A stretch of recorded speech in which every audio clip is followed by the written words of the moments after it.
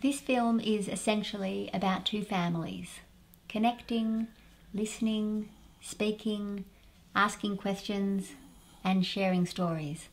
It's a yarn, a collaboration between our family and an Aboriginal family living on the central coast of New South Wales. Wiradjuri woman Jen Ridley and her partner Uncle Charles Davison, a Gadigal elder. And we're speaking from Djaara People's Country here in um, central Victoria. And we originally um, reached out to Jen and Charles because we were writing a, an article on families who are choosing to educate their kids outside of the conventional schooling system and uh, specifically for cultural reasons as well as social and environmental reasons and of course meaning reasons as well. So we wanted uh, to speak to them about their experiences, what they're doing as educators and uh, as parents and grandparents, and as community uh, actors and leaders. Aboriginal and Torres Strait Islander viewers, please be aware that this film may contain culturally sensitive material, including images, voices, and names of people who have died.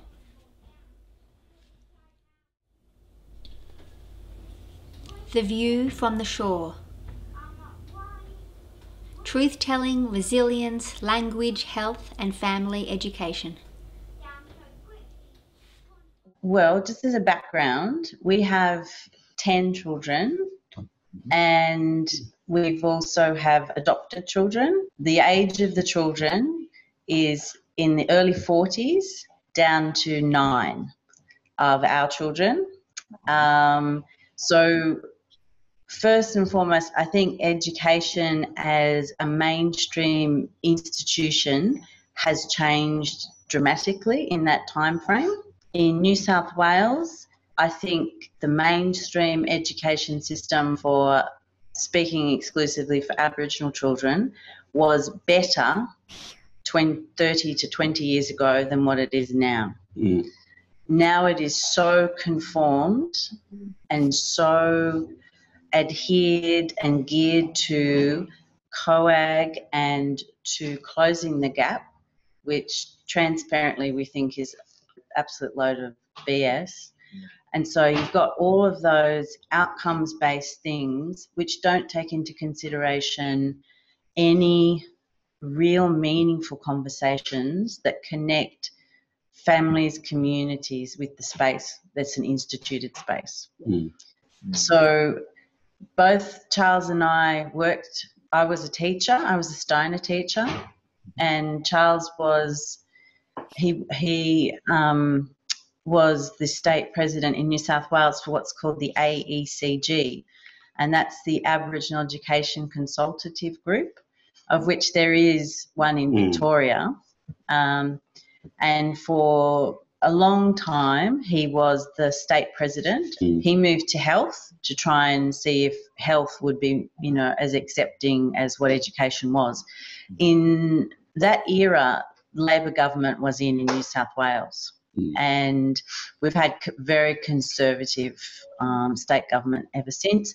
And if you also connect that to the federal funding for anything to do with Aboriginal, it's become more and more conformed and conservative uh, in the last 20 years. Mm-hmm. Our particular situations, we've had our children in various, we've, we've lived in a few locations, um, and in a way that dictated our choices. Um, living on in Bellingen, um, there, that's where I was part of the Steiner School there. Um, it, it was it was a dream Mm. And so 25 years ago, as, as a Steiner teacher, I actually had an all Aboriginal class of teenagers, um, completely fee free, funded by the local community. So I enrolled them through Bellingen High School and had them at the Steiner School. Mm.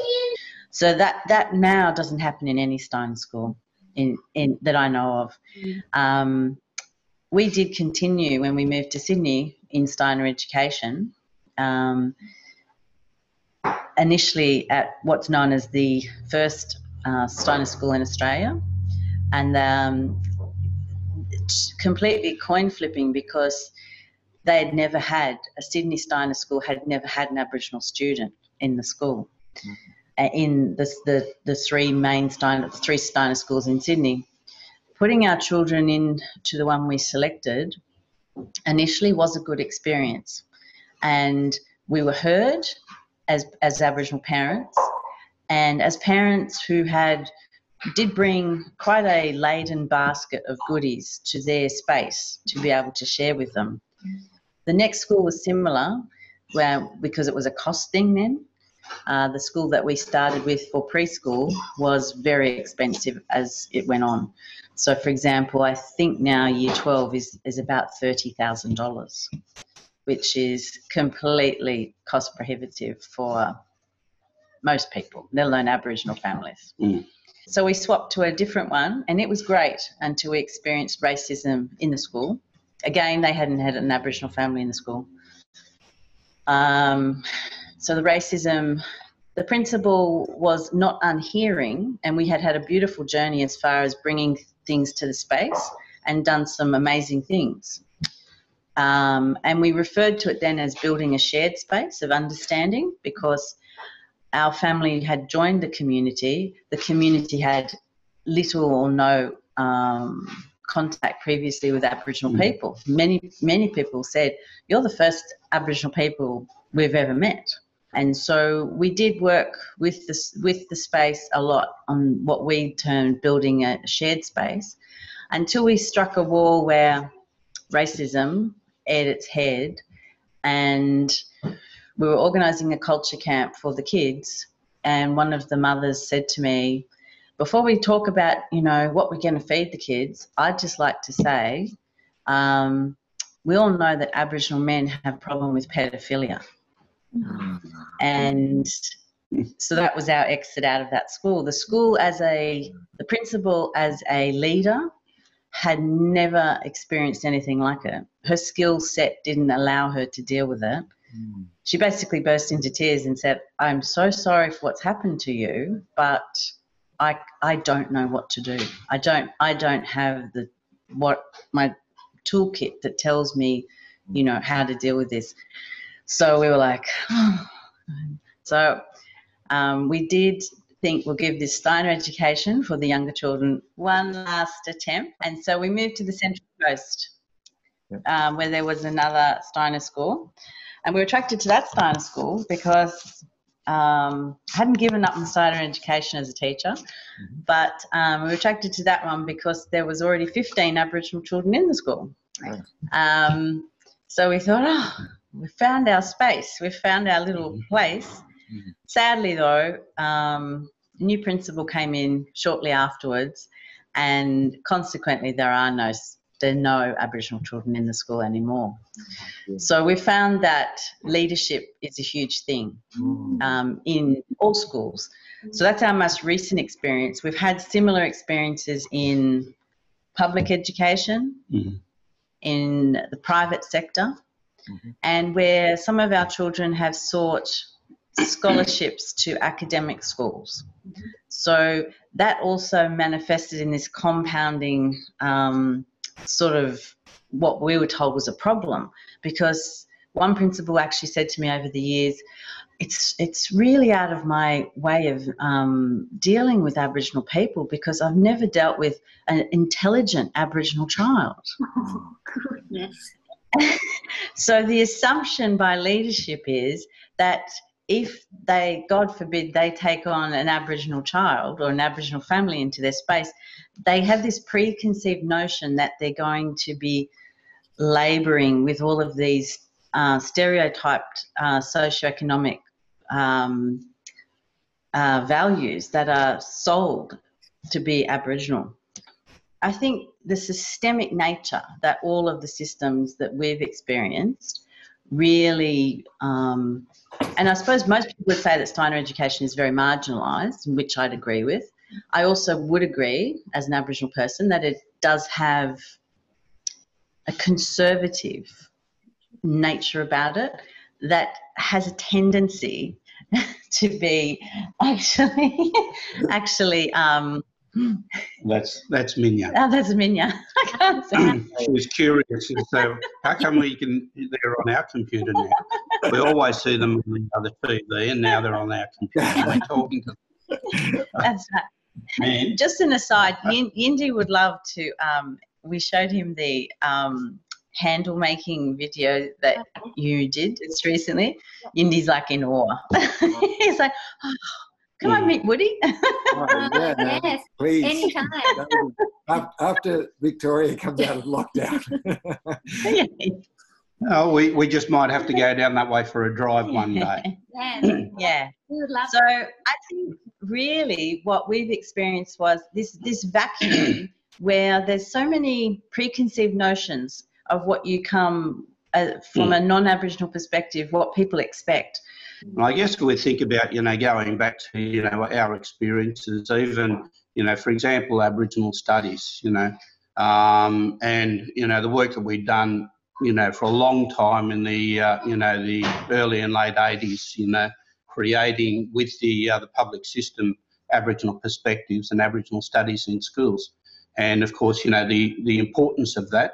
But of course, you know, for us, you know, we know that, you know, there are a lot of, uh, un- unless the teacher is really committed, unless the school is committed, then, you know, there's no real effort in applying Aboriginal perspectives or, uh, or studies. So it makes it really difficult. And, and as Aboriginal parents, trying to share that sort of understanding with, you know, people who really, unfortunately, sometimes just don't have a clue. And, and you know, uh, you know, or or just really don't want to, uh, you know, to understand that.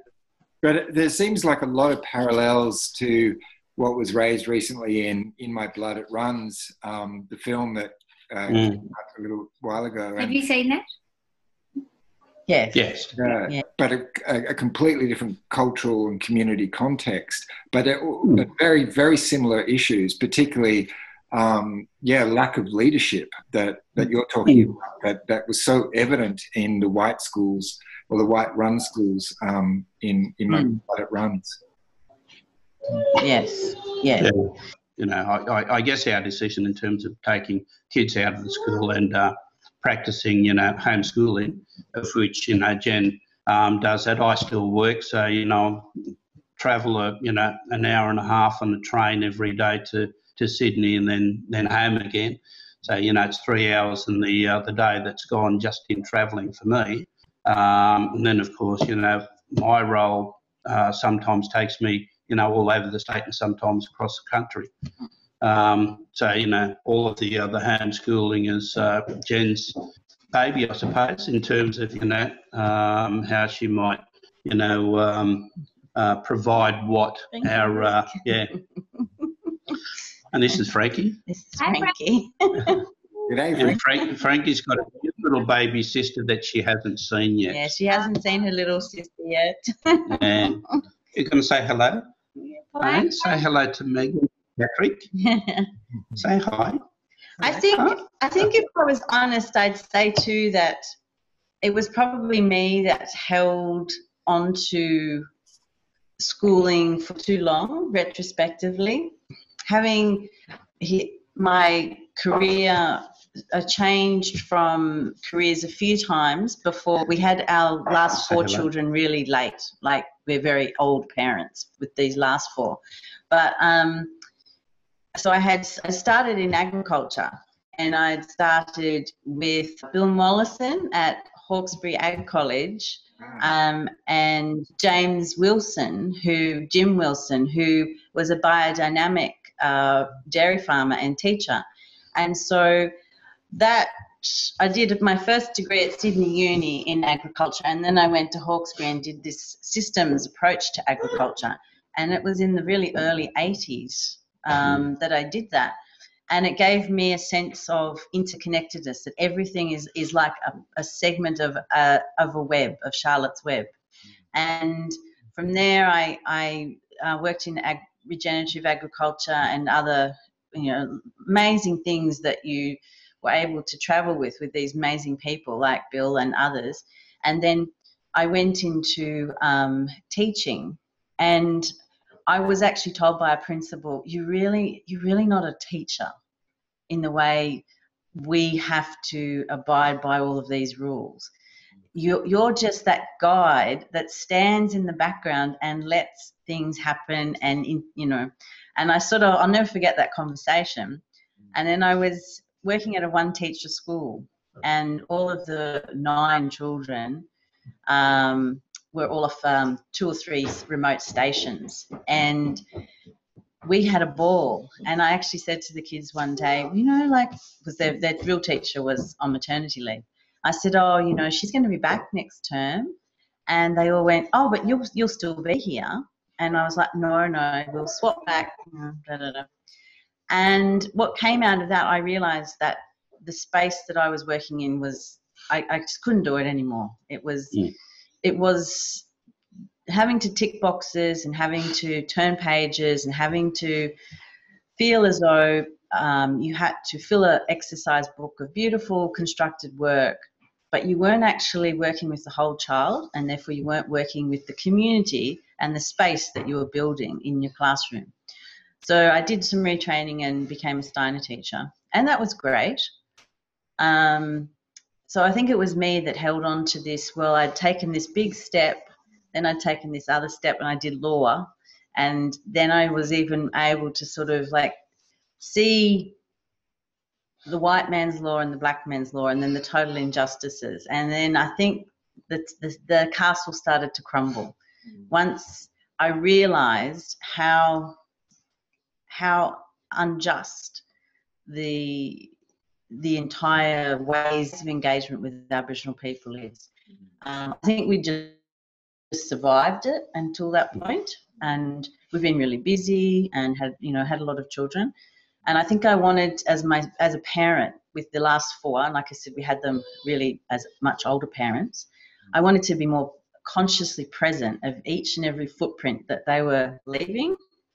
Um, and breaking that down for me was a process and deconstructing learning i think too i had to i had to do that um, which was a wonderful process um, and it allowed us as a family to work out our priorities i think too which are too often conformed by where you send your child to school i think And what are some of the, those priorities? Well, now we have um, the four youngest ones um, from 18 down to 9. So in New South Wales, there's the regulatory body of homeschooling through the state governed body. Mm. I would um, I would say that I know more people who don't register uh, for homeschooling. So um, that there's those two avenues. Um, where we live on the Central Coast, it has the highest demographic of homeschool families in Australia. Um, I would imagine that probably 60%, roughly, maybe even more, um, are not registered. Most people choose registration because they're uh, one of they're either a from one of the sectors of homeschooling, so Jehovah's Witness or Mormons, or so they're very much a sort of like pillar of the community in, in the homeschooling community, or people do it to seek economic support so that they continue to receive their Centrelink Mhm. payments if they're registered homeschoolers um, Mm. until their last child finishes school. Um, our homeschooling day would centre around not the mention of school, but us as a, as a fluid family um, where we look at like minded things that we believe now are important to connect our children to. And there'd be the lifestyle uh, type of skills. Mm. Um, but I think the two most important ones, um, and lifestyle fits into these, is is their ability to find themselves and to be truly strong about their identity, Mhm. and to actually connect them to the space that we we are in. And so that space is fluid. Um, So, particularly having lots of grandchildren too, and so it's it's not a day might be um, our he was then nine, our nine year old son being able to care for newborn twins for a couple of hours a day, changing their nappies and, you know, things like that. Also, Although, immersion. although they were opting out of changing nappies this morning.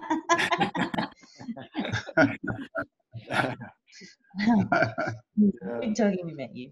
Um, to very connected, very connected stuff. And I think how I've how I've engaged with that, I've gone back those 35 years to particularly um, the connected space that I had when I was studying um, systems, a systems approach to agriculture. I could really say you could rename that a systems approach to being, and being being just an existing entity in a space, and actually working with the space around you being um, a connectedness so that everything that we do is connected to our space. So our property at home, of which recently we haven't been at very often because of the grandkids late in the last week, but we live very differently to um, most of our extended family in particular. Um, and our children probably are more connected to the nature space as Aboriginal kids than our extended family, who are very urban Aboriginal kids. Mm. And I think urban Aboriginal kids are the vast majority of Aboriginal kids in Australia. And they, they feel powerless. They feel like they're, they're not heard. Um, whereas I think our kids are learning their own self. And for example, um, we had one of the girls she wanted to experience TAFE just to sort of see what it was like, what it what it offers. So our suggestion was we'll do something that you know you've never had any experience with. So she chose a Cert three. She was she's 15. This, this was this year. She's 15, and so she chose a Cert three in beauty, which for, for me was you know an absolute contrast to anything I would have selected. But it was for her an artistic experience in in color and design and things like that. But for a 15 year old, she was the, obviously the youngest in the class, and she had to endure many forms of racism, and she was there alone. Um, you know, the ultimate in the, the last, second last week of the course was she was actually called called a nigger by one of her fellow classmates, and we were so proud of her, the way she she hand she she held the space with the situation. Um, probably we we Oh. we experienced more anger than what she did. She actually was able to to say, "Stop! Listen, that's not right," Mm. and really held the direction of how she wanted the Mm. the resolution to come out of. Mm. And I think for us, we realised then, oh, what we're doing is actually the right thing. Yeah. We're allowing them the time and the space that they need to work out who they are, where where their strengths are, where their weaknesses are. They Mm. understand them. They may almo- always be a weakness, but they can rely on their strengths to balance out their own weaknesses. And I truly don't believe that if they hadn't had the time in the last, because we've been out of any school system for almost seven years, I truly don't believe that they the outcome would have been the same for her. Mm. So And I guess even with that, you know, I mean, that's that's probably a uh, a negative, you know, obviously for uh, Alia's experiences, but you know what we tried to um, let her understand that you know this is this is a an institution that has rules and responsibilities, you know, duty of care for uh, for students, um, and and unfortunately, you know, they'd gone not the full way to provide that duty of care um, you know, as an Aboriginal student, first off, they should have allowed or, uh, you know, made sure that she had contact with, you know, um, an Aboriginal person who works for the, you know for TAFE New South Wales, who would be that you know initial you know here's a person who would support you through this. So none of that was actually provided. So we're really wondering what's going on with that. Even though you know we've worked in it for uh, you know uh, with TAFE and with uh, you know education in New South Wales, we know that the policies and procedures are there, but they've really failed to uh, to do that. So it sort of again gives us that you know sort of well, you know, unless you actually jump up and down, um, then you know they sort of think, oh well, you know, no one's going to support, you know, um, or question any of the uh, you know the policies that that should be in place and should be you know enacted, then they won't do anything about it. So you know, for uh, that's part of the frustration, I suppose, for us as parents. Um, you know, um, on you know, no doubt we'll we'll have a conversation with somebody in TAFE, um, you know, in the next little while, just to query what things are in place for students like, um, you know, our daughter. Uh, not not putting the focus on her. I think she learns from that, and what we want is for her to actually have that understanding. Yes, okay, it's there. They do have these policies, so I need to be aware of that. And anything like you know happens uh, in in the future, if she does go back to TAFE, then she's going to be you know more aware of you know her rights, I suppose, uh, whatever it might be. And it, and it doesn't necessarily have to be around the issue of racism. It's just you know um, students' rights to uh, uh, to be you know and feel safe in an environment like that, and that's all we want really. And this and this sort of sh- culture of shame um, goes well into the heart of uh, schooling or institutions in, in Australia. Yeah. Um, and and even um, something came up for us the other day as parents, which was quite um, uh, uh, revealing. Our, our youngest Woody, who's um, seven, uh, went to a friend's place and was talking about um, the dinner table. Yeah, the dinner table, quite openly about. You know, he's he's really proud of himself. He's he's been 30 days without wetting the bed, and he was saying because he didn't want to have any water with dinner. A friend of ours basically said you can tell he's um, unschooled, unschooled because it's hard to be so confident in themselves to to bring up something that suicidal, uh, socially, su- socially, um, yeah social suicide in in, in a school mm. environment. Um, so that's yeah. right. There's a cultural mm. blindness that's so deep. Mm. Um, Tyson Yunkaporta Porter is an incredible sort of unpacking of um, in his book Sand Talk of the Prussian military, the Teutonic Knights as a sort of foundation for um, schooling is is so revealing. And uh, he, you know, he kind of says this is a provocation, but there, there's there is some very good research in that um, unpacking of what we've inherited. In 1839, 13 years before the first successful school compulsion law was passed in the United States, a perpetual critic of Horace Mann's own political party, the Boston Whigs, charged that proposals to erect German style teacher seminaries in this country were a thinly disguised attack on local and popular autonomy. The critic, Orestes Brownson, allowed that state regulation of teaching licenses was a necessary preliminary only if school were intended to serve as a psychological control mechanism for the state and as a screen for a controlled economy. If that was the game truly afoot, said Brownson, it should be reckoned an act of treason. Where the whole tendency of education is to create obedience, Brownson said, all teachers must be pliant tools of government. Such a system of education is not inconsistent with the theory of Prussian society, but the thing is wholly inadmissible here. Most second peoples in Australia um, don't, I mean, look, uh, and ourselves included, um, don't understand the levels of blindness, uh, particularly cultural blindness, um, mm. particularly in relation to Aboriginal communities and hmm. people. Mm. And it's mm. it's so deep um, and so unexamined. Mm.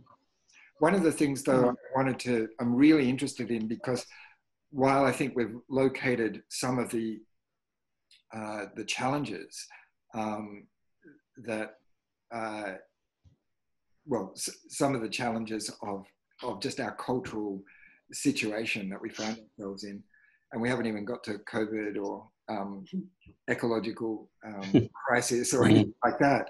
But um, I, you know, it, you started with your experience of Steiner and as parents and, and educators, and you know, to me, Steiner is like the last or, or a last bastion of Christian animism before, uh, or just a last little thread so that to me has uh, always been of interest. Um, not that I've been a Steiner parent or um, we've had a little bit to do with Steiner education when we travelled by bike the east coast of Australia. We gave a couple of um, talks at Steiner schools. But yeah, just the, the for us, um, uh, indigenous knowledges um, and in, Aboriginal ways of being with land and, and being in the story of land um, is what we also find um, connections with our own First People and our own First People story. Mm. For example, um, my Druid ancestors, uh, their universities were oak, great oak forest professors were the trees. And so this um, animist traditional multi-species regard and inter um, engagement with is, you know, is very much within all of us. We all have uh, second peoples and first peoples have well, obviously first peoples much more so in this country, but out, we're very passionate about second peoples reconnecting with um, our first people's ancestral stories and ways of being in land, because that is a way to then um, find fellowship with first peoples in Australia. That's that mm. very sort of important work because modern, as severed modern subjects of capital, um, there is almost like this unable to build relationships with Aboriginal mm. consciousness and cosmology, and philosophy, and, and ways yeah. of being. It, this is, seems to be, the, for me, the biggest stumbling block for second mm. in Australia. Um, and it's mm. because we've lost our story. We've lost our own mm. connections. Mm. Mm. Yeah. I think, Patrick, that the a really good example of that that thread is the revitalisation of Aboriginal languages mm. and language. Um, if you look at the Sydney Basin being the first space on the continent to be so brutally invaded, there really was not only a massive destruction of the people, but their connection to the land was was put to sleep by the cessation of their language. And how we see our, our way is that the land holds the culture and the beings of humans and animals and plants, they are just the trans, transfer agents uh, across the land. And so the land holds the culture. And we've had a great interest in the revitalisation of language per se and how that is the connection to space or place.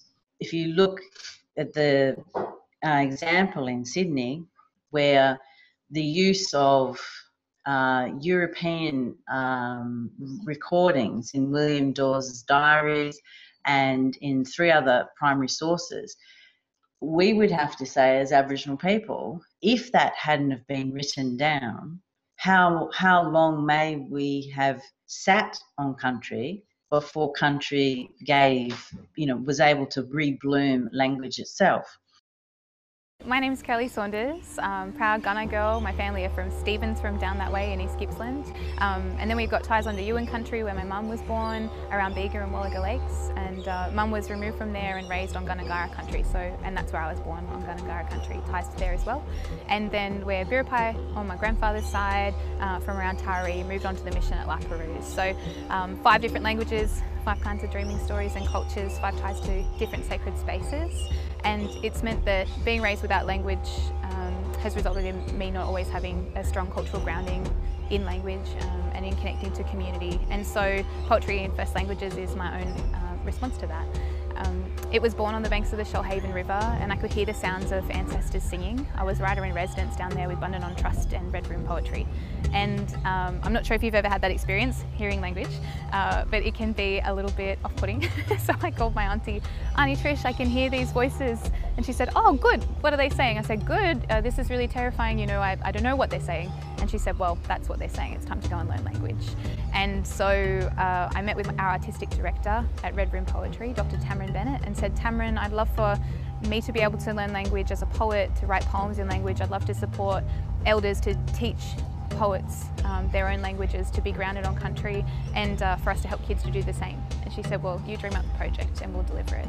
And in the last year, two years, uh, we've delivered probably closer to 45 or 50 workshops um, on Aranda country, Gundungurra country, Gumia Darawal, Darawal, um, and Gadigal nations as well. And poems have been published by poets in uh, Pintupi, um, Japu, Bunjalung, Ngunnawal. Um, we've also led workshops on Ngunnawal country, Gundungurra, Gumia Darawal, Gun and uh, Darawal language as well. And we've focused on students writing poems on country with their elders, community, um, in response to different conservation ideas as well. So in in the process of revitalisation, have we have we actually sped up that process? I don't believe it would have ever died in the in the non-Aboriginal way of death. Um, but it's very interesting when you talk about language Mm. revitalisation and language speakers, how that in itself is dividing Aboriginal people. And it divides Aboriginal people in many ways. It divides them from there there is those of us who can still remember the days when you were not allowed to speak any language that you knew. Um, those of us that can remember the, the language of listening to the older people when we were children Mm. and knowing knowing some of this, the old sayings and Mm. hearing that in a, in a common space. But if you made the mistake of then taking that to school or to the park or to a, your friend's place, there, that was a huge stigma Mm. uh, placed on that. And now in Sydney, it's almost like there's there is a there's a movement of support from non-Aboriginal people about language revitalisation, but the government has now got in there and is funding it, you know one million dollars a piece for a small package program again with outcomes-based deliverables, where they want to now steer the way in which Aboriginal languages are being revived. Mm. And so you're going to have this massive white, white, white way mm. of how it's perceived revitalisation should occur. So I think mm. what, what you described Mm. was such a classic example of that being so so conformed and yet mm. the, the spiral still trying to pull a little bit in the other in the in the other direction by really beautiful hearted people who want to connect at a different in a different way and and be supportive and really want to hear and listen and be part be be then sort of like brought Mm. to the same space and share that space or place. Um, but government always has to come in with its conformed way and it's a monetary way of dealing with what's seemed as a problem. But how can we make the problem in other words how can we take it over making it still look as though there's ownership? But it's yeah Mm. it's, it's really and i think that's the classic example at the moment. Yeah. it, it was happening 30 years ago with art particularly central desert art and the exploitation of of art which still goes on today. And then Mm. lang- language has been the next thing. And although i think art is art as in the name the namesake art but for aboriginal people the the notion of art is very much of uh, connecting to space and leaving like a footprint on country but it connects it's a reciprocating connection and for example we take um, the kids to a massive rock engraving um, location in the Ku-ring-gai National Park north of Sydney. Um, it's not very well known by many people, but it's about the size of a, a football ground, wouldn't it? Probably. Oh, the length of it. The length of it. probably you know 80, 90 metres in length, um, with you know, numerous um, uh, carvings and, and some very very significant. Mm. Um, you know, emu in the sky, for example. Yeah. and of course, you know, that's part of that, you know, obviously for us and part of my work with uh, New South Wales Health is we, we designed um, what we call Respecting the Difference. It's our cultural training for all New South Wales Health. And we um, deliver that in, you know, online and face-to-face programs. So it's about, it's, it's, it's meant to not only make people aware, but, you know, talk about the issues that impact on Aboriginal people from a health perspective. Uh, and talking about the uh, the history, you know, for example, hospitals, you know, 50, 60 years ago still had segregated uh, areas. We know that, you know, but you know, most people who are coming into the health system working as a nurse or a doctor don't know that. So you know, when you when you start talking about that history, then you know, for them, no, that couldn't have happened. Well, you know, um, yes, it did. You know, many people come into you know a workplace like New South Wales Health, and we employ you know 150,000 people. Um, you know, as as doctors, and then of course, you know, that's doesn't mean anything to them. Uh, and then when we start talking about, you know, the, you know, well, you know, if you're if you are a doctor, there's every chance that you will actually provide a service to Aboriginal people, whether you know it or not. You know, depending on you know the visual aspect of uh, uh, that they want to uh, take. Take and most most of the time, they it's usually you know well, unless they you know fit the stereotyped mold of an Aboriginal person, you know, dark, flat nose, you know, all of those uh, characteristics, then you know they couldn't possibly be an Aboriginal person. So you know they they totally miss out on that. You know, um, Aboriginal people with fair skin, with red red hair, blue eyes, and all of those things. We, we usually say there's a saying amongst Aboriginal people: you you know that they're black when they open their mouth, and it's usually the way that they talk. So it's you know it could be Aboriginal English, and that's a an important dialect, if you like, within Aboriginal communities. And that goes back to the issues of, of when people were removed from communities and put on what we call today missions. And of course, all of their rights of language, um, connection to country, you know, the hunting, those sorts of things were taken away from them. Then, you know, that was basically lost, or people, you know, chose not to use language or the hunting you know, because of you know those rules that were put in place.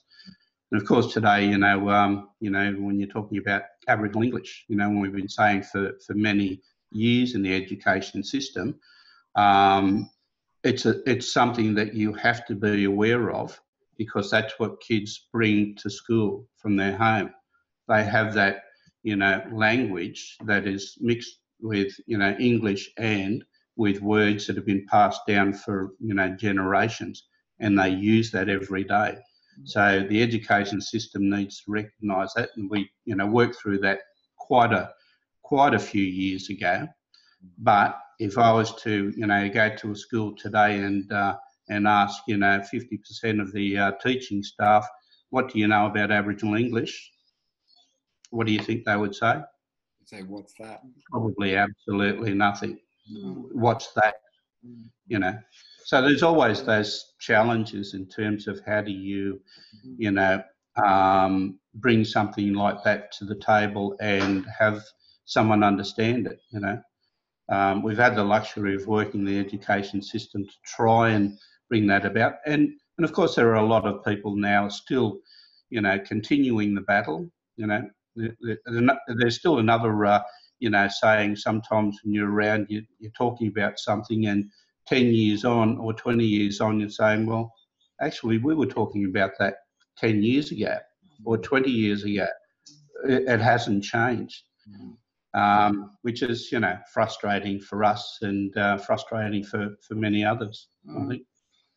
Just back to the rock engraving site, we, an example for our children, um, and I think it's it's about their Aboriginal, um, it's about their identity, and but it's about about them just their their their way of being an Aboriginal child. Mm. When we go to a site like that, they have an innate, non-directed, non non-enforced way of being on the site. they have. It's so interesting to Mm. watch them. They even as little, really little people, put- them down, shoes are off, and they will innately just explore as if they're being guided by the the ancestors before them. They will be steered by some non-visual power. They don't tread on the engravings. They immediately are immersed into the space in a spiritual way where that the one I'm talking about has a, a men's side and a women's side. And we've watched our children in just by being in the space, they actually, without instruction, the boys will do one thing, the girls will do the other. Whereas I've taken groups of non-Aboriginal kids there, Mm. and there's there's no connection. There's no everything has to be an enforcement way of how you're going to behave. And I Mhm. think when you describe the Patrick the the difficulties of bringing bringing that together, I that's a classic example for us. Mm. Is our children innately have it, and they for hours will be there, and Mm. they'll they'll naturally nurture the space by removing any natural debris from the engraving and pulling away the moss and things like that. You take other children there who've had like similar experiences of even being homeschooled all their lives and um, you know from families that you know are very connected to nature and things like that but there's there's something that is very much different Yeah. Yeah. very much different and um, we Very- feel very fortunate that our kids still have that in them Yeah. too that it hasn't been taken away by Mm. by generations of as trying to assimilate people that that it is still in them Sadly, many adults that you might take to sites like that too. yeah you know, and there are rules around, you know, what you should and shouldn't do. And, and quite often we talk about, you know, well, take the shoes off because there's less uh, impact on, you know, sandstone. And, uh, and of course, you know, we know that, you know, there are cycle clubs and so on that, you know, um, encourage the uh, riding of bikes and motorbikes and across some of these platforms without any consideration of the damage. But you know just taking people there and then going through that process of you know well if you take your shoes off then you know for aboriginal people this is where we start to think about you know that connection to country and what is important for for us through our you know feel you know as far as the uh, the food is concerned and that connection and why it's important to preserve those sites because you know sandstone does break down um, and, and there's sadly, as I was going to say, that you know there's still too many people who really don't understand that. Uh, these days, you know, we we you know wearing all sorts of uh, shoes and boots that uh, can cause damage. So it's trying to get that sort of you know understanding. And I was just going to say also one of the uh, um, things that we're currently working on at the moment. Um, next week, we I, I work in uh, in a building in St Leonard's, which is on the north north side of Sydney, and you know we uh, in that building there's probably around about a thousand of the Ministry of Health staff, and we've you know built a purpose uh, purpose built uh, building just on the other side of the railway line, so it's only 500 metres away. Um, and we've, we've been working in that space in terms of, you know, um, understanding or recognising, you know, the connection to country for Aboriginal people. So when they taken old buildings down and cleared the site, we'd actually had a smoking ceremony as part of that process. And of course, you know, the building's now complete.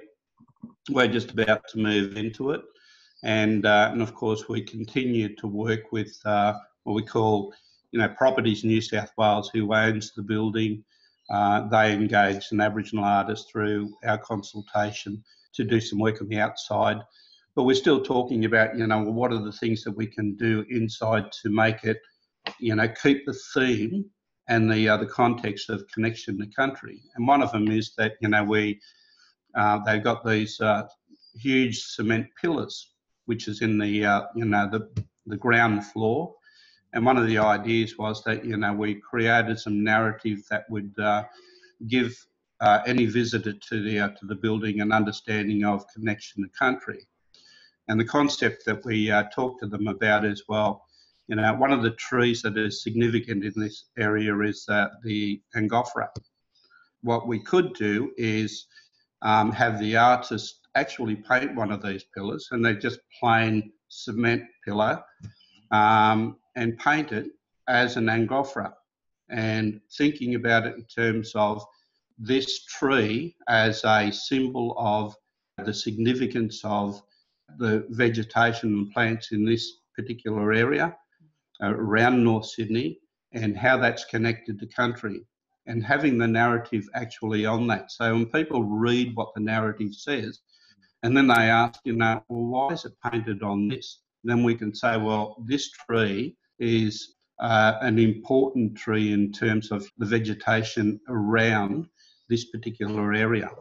Um, so it, it, gives another talking point and a, and a, a very clear understanding of how people nurtured, how Aboriginal people nurtured those, um, you know, those trees and plants, and the importance of it to our culture, and of course, importance of it to uh, connecting the country. Mm-hmm. And it would make it a a, a visual um, focal point for any visitor coming in, and that building will have thousands of people coming through over the week. And that's one of the things that we'd said this is important for you know for Aboriginal people because let's think about what happened prior to this building and all of the buildings that were put in there. There were never any protocols put in place to recognise what you know sites might have been there, and many of the sites would have been uh, destroyed buildings were put up, so you know, no no real connection or understanding about you know you know the the local uh, people who uh, nurtured and cared for that country for thousands of years. Mm. So that that project that Charles is talking about is has been like a family project for us. Mm. So yeah. the the whole two year period that it's been going on for. So our children were the um, the conveners of the ceremony, um, along with Charles and his brother.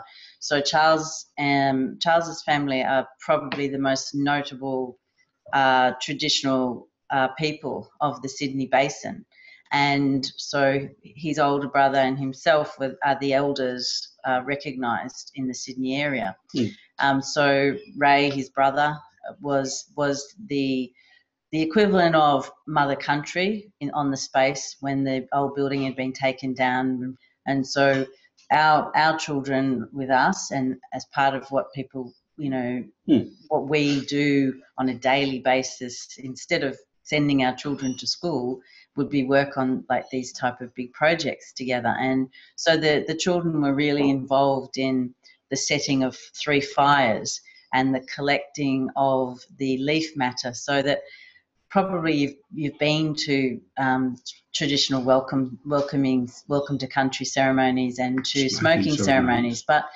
mm. we wanted to actually instigate with the children because it's their their land.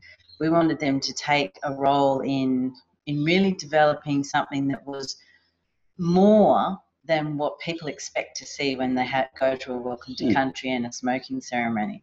So we want we wanted to stretch them so it was like an artistic installation, but it was also culturally pushed pushed them further than they're used to seeing as well as relation to the the normal welcome and the normal smoking and yeah. so we with them devised you know three separate fires and we had all people five or six hundred people who were there participate in the actual ceremony and the kids actually held the space on the fires, they built the fires, they actually, you know, gave the gift of of the the leaves to people to actually commence in a in a circle the the actual smoking process. And um, I think the audience were expecting the very mainstreamed way of ceremony that has been devised around Aboriginal culture. They weren't expecting um, the engagement that they had with the experience. So they didn't ex- they expected to be spectators of what they perceive is is is the tradition. And what they got was well actually no, you're going to actually be part of this if you want to really connect. So we found Mm. that it was a combination over two years that the children and us as a family have done it, and now what Charles is referring to, the writing of the narrative. So there's always been these real big stumbling blocks with government and with officials, and but the children were able to actually have this two-year process Mm. to see, and then obviously from these fires that we had two years ago, the the ash from the three separate fires will be embedded into the gardens around around. But the kids have had a real instrumental approach to that, and we we spent a lot of time on the on the rock platform with them during that process, and so they their little feet were walking country and just just like os- osmosis, they just being in the space um, actually gave them all of these the, this almost like one of a better, better word magic Mm. into them that allowed them to be the really non prescribed or non-descripted ways of having having to inv- involve themselves in this Mm. project and it was being really good and my Minya our youngest she would have been only six when she started Mm. and she was you know confident and um,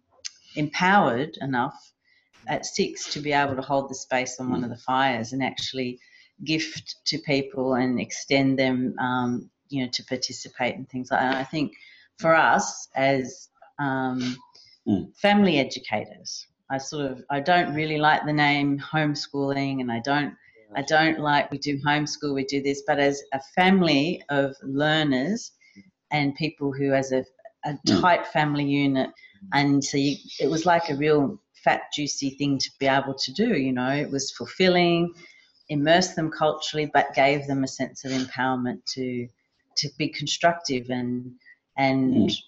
I can't really describe how it happens, but the innate way in which the culture comes from the land into little beings and how they just have it.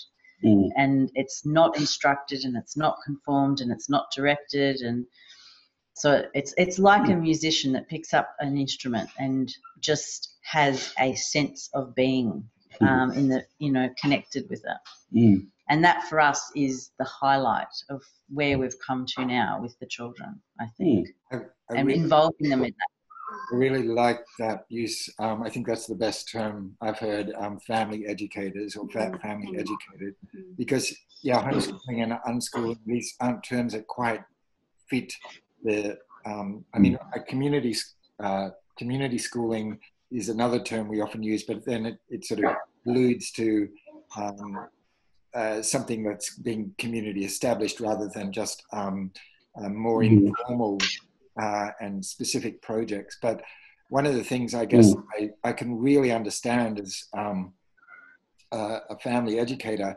is just what a project like you've just described of the ceremony, just and the um, it, it's immeasurable, f- certainly from government or in an institutional perspective, immeasurable Mm. what sort of um, development and learning and growth uh, within the family, but Mm. specifically we're talking about children learning. Just it's yeah, just how that sort of um, those sorts of ways of learning have almost no status in Australia, and uh, and yet um, right. and yet they th- this seems to be so integral to um, addressing the meaning crisis that we have um, Mm. as in a in, in a um, in a culture of, of domination for both um, Aboriginal and Second Peoples uh, in Australia. Like, what are some of the kind of key points you've learnt in the last 35, 40 years? What, Yeah. what educational transformations would you like to see, in t- and specifically related to connection to country? Mm. Well, for me, I think, Patrick, you know, um, embedding, uh, you know, Aboriginal stories within, you know, all curriculum, you know, and, and the story is more than just a story. It's it's you know it's that uh, the story encompasses you know our history. It encompasses you know um, all of the important issues that impact on on Aboriginal people. You know, and and of course, how do we change that you know into the future? And like I was talking about, you know, um, many people who come into New South Wales Health not even knowing that history. If if they don't have uh, an, an understanding of Aboriginal people working uh, and coming into this organisation, why would we employ them? Because at some time in their career, they're going to work with Aboriginal people. Yeah. So it's just like, you know, you're learning a trade, then you can't complete your job unless you know everything about what that trade, you know, needs to apply. And, uh, you know, if you're missing a couple of tools here, then how can you do the job effectively? So, you know, those are the sorts of things that I would like to think, you know, would be really important from a learning perspective. But again, it's, it really comes from that learner. You know, how often do we say, you know, uh, quite a lot of things are discussed around the kitchen table. And if it's negative things, kids hear that and they grow up with that. And, uh, you know, um, and then, you know, so it, it's a whole change for everyone. Um, you know, the education system has to change. The, you know, um, organisations or agencies like health and and others, you know, because most of the time they've they've got to apply their work to Aboriginal people. Uh, that's probably a wrong way to uh, put it, applying it to Aboriginal people, rather than you know, um, you know, with Aboriginal people. Yeah. So you know, there, there's a whole range of things, and I suppose we can have this conversation, you know, for the rest of the weekend. I suppose. Um, Just getting started. We'll have to revisit it another time, I'm sure. what, what about you? Um, I think so much of it stems from the forced removal of so many things for Aboriginal people. So many things need to be given back in a truthful mindset. Mm. So when the mindset of all is about truth being at the forefront, I think change has an opportunity. I'm not saying it'll be evident, but mm. it's got a better opportunity of being sustainable when we hold truth. And I think for me, an example of taking that back would be giving mm. back to Aboriginal families mm. their their rights in relation to birthing. For example, as far as we know, we are the only Aboriginal parents in many, many years who have home birthed their children. With that came so much, so much negativity mm. from this a huge circle around us. Not our immediate families, although they struggle too, to understand why, particularly Charles's family, well, well, why now that the health sector's not there, why, why would you want to birth your babies on country? But I really believe that until we take that back and we birth on country, so that our our unit that we're hmm. building, what we are continuing as evolving culture, is actually healthy and ends well. Because I don't believe in many places the culture is well, the culture's sick. It's not dying, but it's sick. Mm. If we start taking back the smallest of things at a micro level, mm. but in order to do that, what we know or term service providers, they have to take many, many steps back and they have to, with change, accept that what they will be gaining is instrumentally far more important than what they perceive they're going to lose, and that's control. So I think it starts with basic things like like that, where trusting Aboriginal people to be themselves needs mm. to be at the forefront for Aboriginal parents to make the true choices for their children. Mm. And I think for for us personally, that comes from with birthing on country. It comes with like ironically, Aboriginal children have the highest immunisation rate in Australia. And that's because it's government funded. If you tick the box when your child is born, and you register your child that they're Aboriginal or Torres Strait Islander, they actually get their immunisations completely for free. But as an added bonus, they get four more than the white child that plays next to them on a swing. So, looking at those things that are, are so forced upon Aboriginal people, we've found as parents trying to actually maintain a what we see as a much healthier connection to country and to our mother, which is Earth, and avoiding conformity and overconsumption, materialism, immunization, and things like that. It's so forced upon forced upon you as an Aboriginal person. You, as an Aboriginal person, you are supposed to be so thankful that um, all the you know charitable things and government want to look after you because they know what's what's Mm. best for you. Um, so if we we actually have even micro pockets of people who can who can be supported at a, at a local, um, very local micro space to re-establish the way that true connection for them as Aboriginal people starts, and that comes from Mm. their from birth and the new generation bringing back the practices of connecting to a space Mm. and we we know our own family extended family even having this conversation now for some of them would be way beyond um, them being able to they'd see it as a process of they'd mm. have to let go of too much that they've that they've they've fought to gain. Ah. Whereas our perspective is some of these gains are at the, have been the real detrimental tools of the demise of of Aboriginal people's mm. empowerment to actually be free willed and free of thought. Mm. But then it doesn't actually give people the strength to demand truth. And I think the whole aspect of truth in in a in a in a setting of learning, whether that be you know anything you engage in in life, not necessarily in a structured educational context, but that sense of learning has to actually be by osmosis. It has to be a natural way Mm. that that comes, um, and I just see that until that comes back, Mm. um, and we've experienced it, and we we know that it the wonderful benefits that it's given us as a family. Example, going back to that um, ceremony with the fires, one of the fellas there, and he's a lovely guy, but he's a very very senior uh, government um, worker, very high up public servant. He came over and he he he thanked me beautifully and said how wonderful my children were, and said, "Oh, you know, it's I really appreciate that you took them out of school for the day so that they could be here." So there was this assumption about school, assumption that it just magically happened in one day.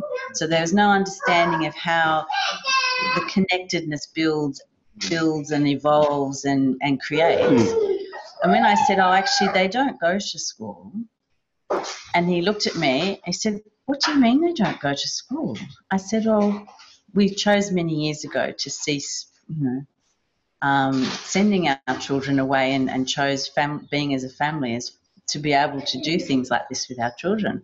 The next thing I got was, so how do you fit in all the reading and the maths and all these other things that you have to do? you have to do. How many children did you say you have? Like this? And We get that. We get And- that all the time. How do you how do you grow your own food and do all this stuff and, and you know, sit down to uh, you know several hours of formal? It's like I got to a second. and then I said to him in response to how how do you fit all of that extra, you know, the important stuff in to be able to do this extra thing, as opposed to the the his his perception of extra is is us and what we are, and so I said to him, well, my children might not be able to tell you what day of the week it is.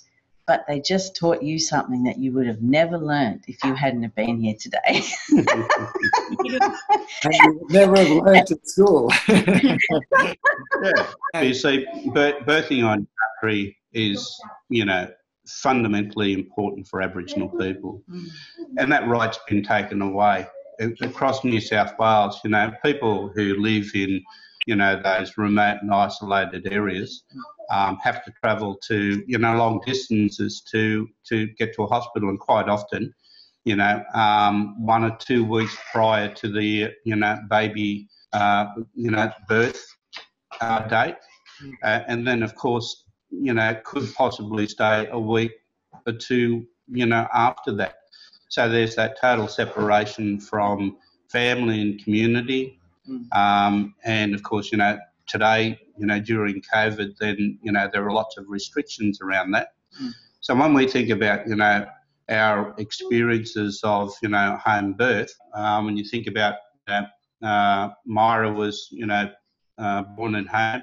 She's She- thir- she's thirty She's now. 30. Yeah. She got to experience Molly being born. Um, both her and Molly experienced Dahlia being born. And they were all experienced Yendi being born and again Minya.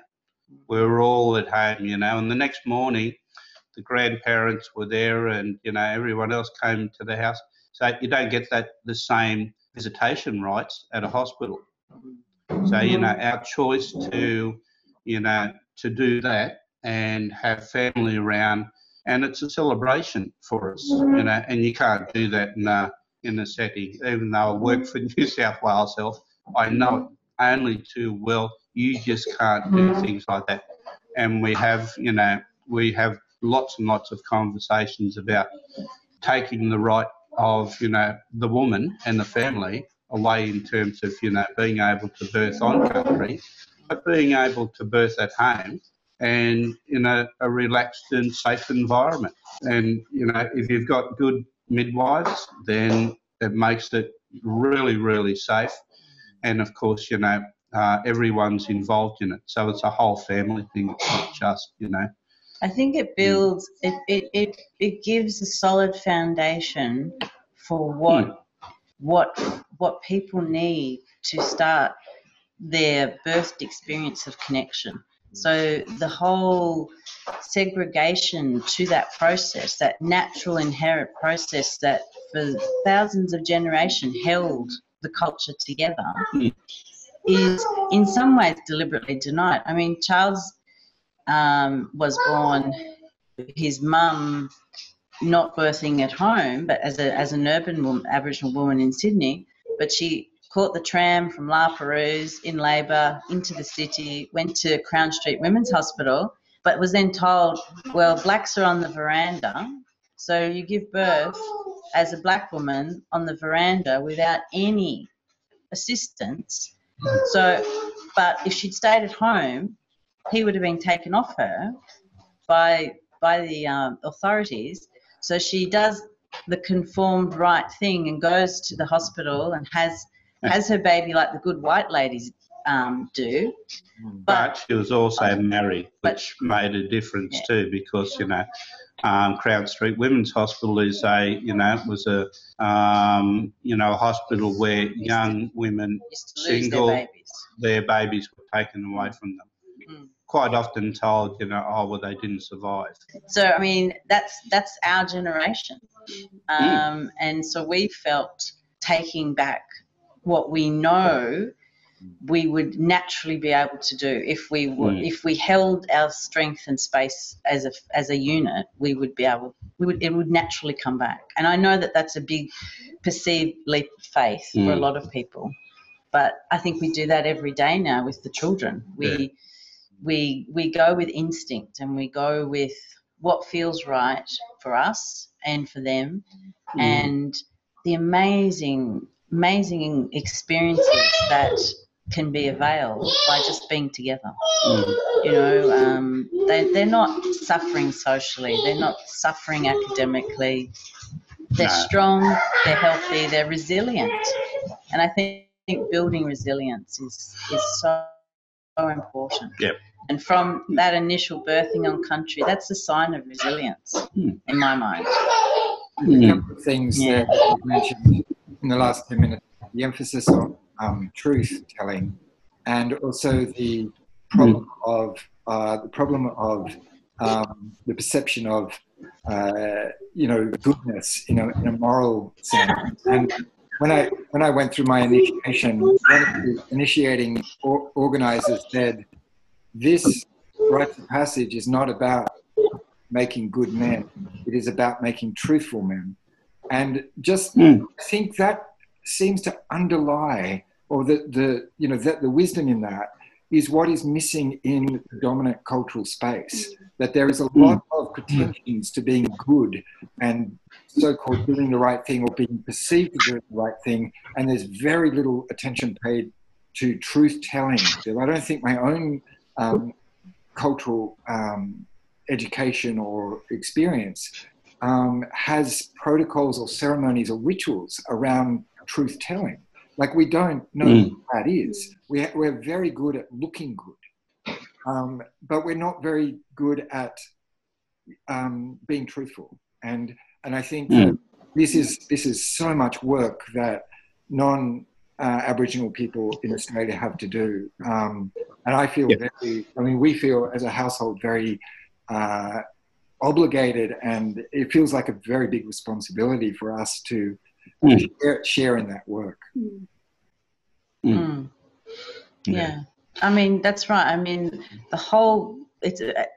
I think you can avoid truth in content, and I think that's what's happened in the in in education sectors per se, from early learning settings through to secondary and tertiary settings where you can present a con you can present content and you can regurgitate things but unless you actually push to the zone of truth where you talk about the view from the shore instead of the view from the ship.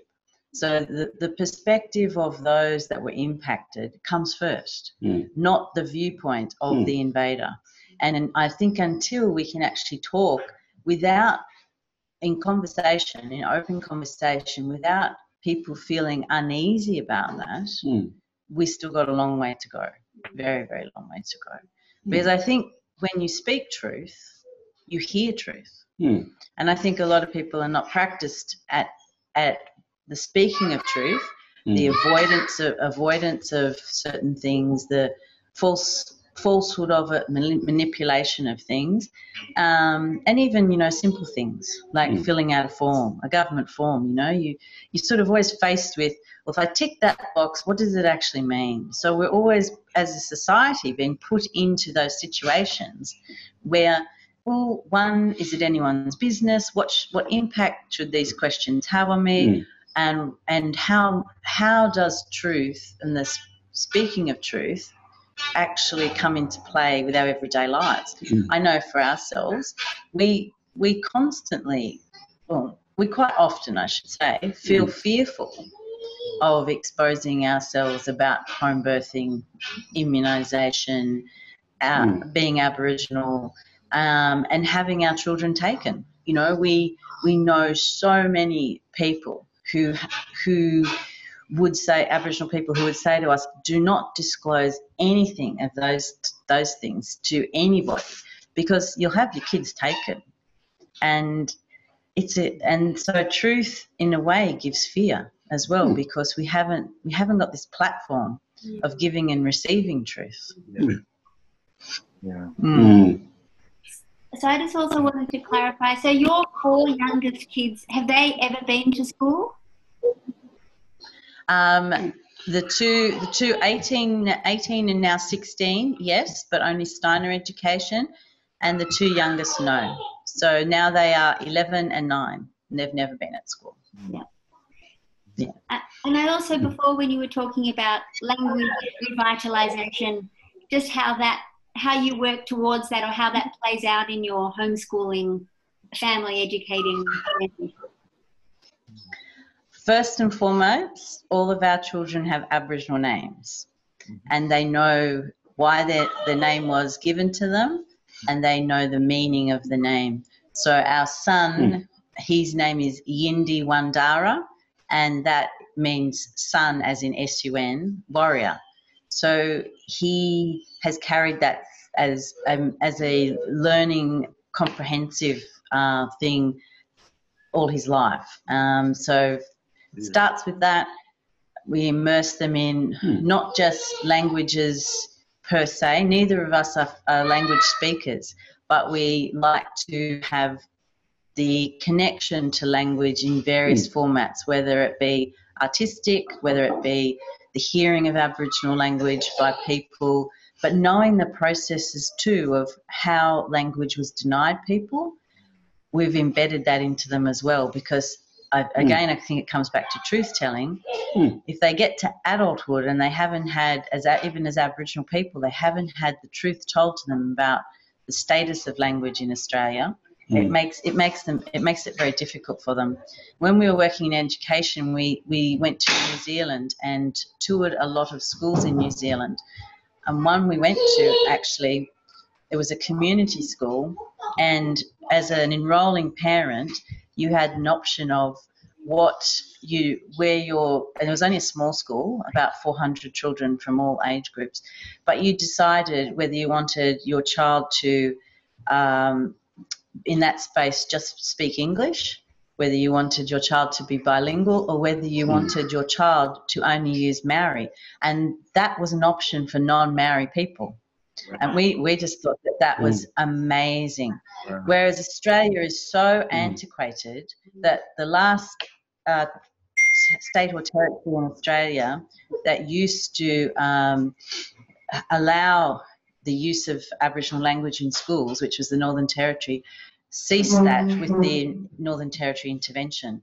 Part the like the intervention is just this manifesto of no longer able to do this, and that one of those things was the teaching of language Mm. in schools. So you've got you've got schools in the Territory and in Western Australia where some of those children would come into the setting as preschoolers and they would know five languages, English being their sixth language. Mm. And yet, once they hit this, the conformed setting, they might be lucky if they're allowed to have language lessons in their own language Mm. um, for half, no more than half an hour a day Mm. and you can imagine these little people you know they come they come confident little beings able to communicate know where they belong and they come into a setting and all of a sudden oh well that's not as important as we'll Mm. teach you how to speak english properly and we'll teach you how you know how to read a book and and those spaces can't Mm. can't do that anymore so they have these amazing Mm. Aboriginal education assistants in the schools who are fluent lang- language speakers, and yet they're not allowed to speak with the students in their own language, on their own country, in Mm. the educational setting. They have to speak English because they're at school. Mm. And they're, they're those communities that actually have language intact. Mm. So if unless that that is able to change, like this wonderful school we went to in New Zealand, it was absolutely amazing to go into a classroom where children and families were deciding how they were going to communicate with each other. And so you had as many non-Maori families Mm. choosing that in the school setting they valued, they actually valued Maori culture enough to think that their non-Maori child should actually spend six hours a day speaking Maori. I mean, look, you know, recently, because of uh, COVID, obviously, you know, I've been working from home since, uh, you know, mid March. And the majority of our branch, who are, you know, there's around about 40 or so. So every week we've had, you know, what we call, you know, staff huddles. So we're all online. Um, very early in it, we'd recognised because it's usually, you know, oh, Charles, can you do acknowledgement of country? And we decided, yeah, I could do that or welcome, that's fine. However, you know, everyone just listened. So what we decided to do was um, at least two of our staff at every uh, staff huddle would would uh, acknowledge country and how they might do that. And obviously, we asked them to do, you know, think about where you are, what country you're on, where you're working at that time, or where you're living. And it could be that, you know, you might even want to recognise where you grew up. So, you know, that's fine. But as long as it's a process or a practice of understanding and learning what that actually means in terms of, you know, um, connecting to country. And it's been a really good exercise because, you know, all of the staff who've been involved said, I've learnt so much more, not only listening to others about where they're actually living and what they found out about that country, but I've found out all of this about my country. You know, on my morning walks, I I didn't realise I was walking past sites that you know are significant. Um, I was ignorant to that, but that, you know, so it's a learning thing. We've actually, in fact, had three um, uh, staff members who are from New Zealand, and going back to that point in terms of what they'd learnt, they started their acknowledgement of country, and they'd asked me for permission if they could actually do this. Um, can I, um, you know, start my acknowledgement of country in Maori language? And that's what they'd learnt. And I, you know, that's fine. And um, you know, for us, it was, you know, really appreciative too because it gave them that connection to where they actually grew up and what they learned. So they wanted to recognise that, which was really important for them. And of course, you know, as Jen said, the schools that we visited, that's what they learned. So, you know, it was a second language and it was just, you know, um, not only the uh, the kids learning that at school, but, you know, their their families were taking an interest in it, so they were using the language that was really important. And that's one of the sad things that we find here in, in you know New South Wales and in Australia, that that language is not taught. And then and there's a lot of discrepancies. You know, in New Zealand, you're talking about you know maybe two or three different dialects, but the same language. Uh, Australia is so much vaster than that. You know, just in New South Wales, you know, there were something like 70, you know, language groups, you know, and dialects. So it was really difficult. And of course, you know, all of those people who were taken from country, put on places like, you know, Cootamundra Girls Home or Bomaderry or, you know, and, and on missions and they weren't allowed to practice that. The language either got lost or it got confused. So, you know, people were using different words from different language groups and mixing it all together. And that caused, you know, all sorts of uh, different issues. And when we start talking about how do we introduce language in the school system, then, you know, most teachers would think, oh, well, you know, can we uh, just use the, uh, the local language? Well, you know, it, we can we can see over time that language was broken down because of people brought from different language groups. So it wasn't really the language of that country. And that's caused, you know, some some real anxieties in, in how you would teach and what language you would teach. Mm. Um, and then, of course, you know, um, does the Aboriginal people of that country give permission for that language to be spoken? It's not something that can just be taken. Um, and there's got to be lots of agreement around how that how that might work because you know our experiences, particularly in Aboriginal studies, where you've got um, non-Aboriginal kids who are really high achievers and they chose it because they were really interested and you know um, they excelled in it. They learned a lot more than Aboriginal kids, and that again caused some issues in terms of you know um, non Aboriginal kids knowing all of this and wanting to know more about history and contemporary issues and so on. And it was an embarrassing thing or shaming thing for, for a lot of Aboriginal kids.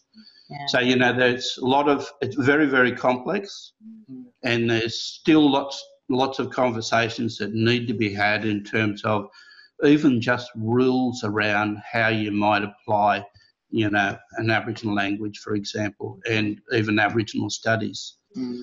For our, for our personally for our children, is their naming and then mm. and then the open use of words and the understanding that um, language is really fluid, but it's it's held it's held by country.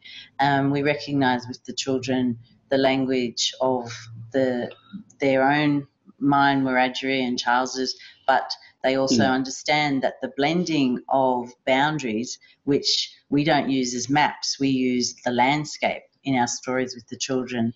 um, the rivers and the mountains Mm. as the landscape, the, the physical barriers that actually were the, the, um, the boundaries, they understand that and they understand that the crossing Mm. over and through story too, they've Mm. understood that um, traditionally how an Aboriginal woman would have been given, bequeathed to a another another group which may have had a similar but Mm. vaguely different dialect. And in our situation, they know that the adjoining language groups around the Sydney area where we've lived are different and that the same word might have different meaning. Mm. And they also understand too the the significance of how children in uh, different parts, Aboriginal children in different parts of the country, um, have have been fortunate enough to still have language as their first as their Mm. first language. Language gives you this um, huge, but yet starting really small context for conversation about so many things, about plants, about animals, and and all sorts of things that are the natural world, which is our focus for the children. Yeah. Um, and language is at the forefront of that because I think language too has no barriers, whether it be the spoken, the heard, or a lot of, of, of gesturing and follow, following the patterns of animals Mm. um, and watching.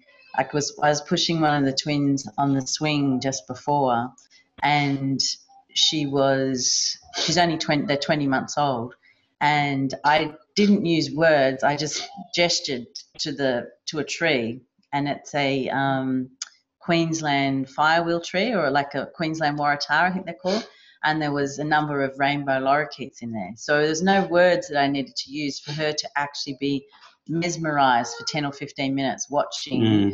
the rainbow lorikeets um, playfully chomp, chomp away at the, the Mm. beautiful, bright, red, gorgeous flowers. Mm. And I think that that's language too, because it's a form of embedding in nature.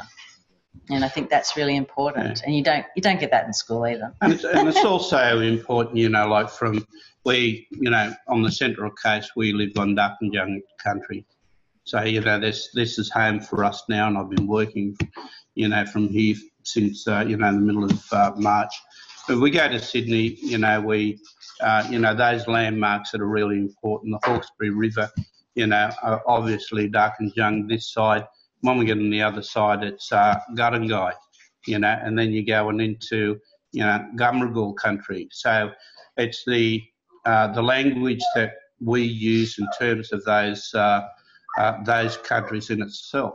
So that's the sort of thing that we try to say. Well, you know, when we're on the other side of the uh, uh, river, we're in another country. So we travel across three countries to get to, um, you know, to my country. You know, Gadigal, which is on the uh, southern side of, uh, you know, Sydney Harbour. So it's just that sort of learning that is just comes natural, and it comes through the conversation that you, you know, you're having as you're going along. Yeah, Mm. even short journeys like that. Yeah. It's just it's been such a pleasure to get to know you um, both and and and some of your other family members. And thank you. Yeah. Well, Yes, it was well next time we'll we'll good. we'll introduce you to everyone else. Yeah. Lovely. I, I just think it's a wonderful thing to have conversation for others to be able to actually even people think if you can Mm. hear you can think you know if you hear hear something you, it starts some some sort of thought process and i think that's really important Yeah. and it leads to truth telling you know, Yeah. you know. Well, Yeah. thank you again. Yeah, really great to meet you. And no no thank you it was, it was wonderful it was wonderful Yeah. meeting you in person Yeah. when we can. yeah that would be wonderful Well, thank you for watching, everyone. Um, one of the big things for me that I feel after having had this conversation with Charles and Jen is just how close I feel with the two of them. And not just from our conversation uh, in the film, but also afterwards. Lots of emailing backwards and forwards. And yeah, I feel like collating images and Yeah. um, Yeah. just collaborating on this film. I just feel such a, a I don't know. When I when I think about how I feel about them, I just it's sort of this kind of feeling. I just want to hug them both so tight, um, and hope hopefully one day we'll be able to do that. Yeah, I can really see. Yeah, just a deepening of the friendship, and because we've kind of missed the small talk aspect and just gone straight to the to the heart of some really important issues. Yeah, Charles and Jen are publishers of the of the press called Indij Readers, and they have lots of great stories written and illustrated by Indigenous Australians for Indigenous and non-Indigenous kids. And Woody's been really enjoying uh, these stories, particularly the ma- more magical ones. And I think one of the the really big things for me that came out of our yarn with them was that our two families have made a lot of very similar choices in our in our life decisions. Hmm. And not for a second has it ever come up for us that because of those decisions that we've made our children might be taken away from us. Yeah, and that that is still a fear in this day and age was very shocking to me. Hmm. We feel like there's so much that needs to be done in every household in this country around the world in terms of decolonisation and decolonising how we live and the the institutions that we operate in and that we support. And it is a it is a global story, and I do feel that after having this conversation with Charles and Jen, that things have opened up for us. Lots of new conversations and new decisions, and I guess that comes about from sharing stories and deep listening. yeah. And I think it's those of us who have the great amount of privilege that sit upon um, a few generations of histor- historical privilege, sometimes several generations, to address the history and to fess up to the history. Um, and and to teach our children a new normal, yeah, a new way of being that is much more truthful and Yeah. beautiful. And while there are dedicated teachers in the formal schooling system who are doing this work, um, it's fair to say across the board uh, the work is not being done. And the great majority of white institutions are not understanding or listening to the will and to the stories and to the agency of Indigenous Australians. We hope this film will spark some much needed conversations in all of our households and will give us all the giddy up to to act in much more kind and just and responsible and accountable ways.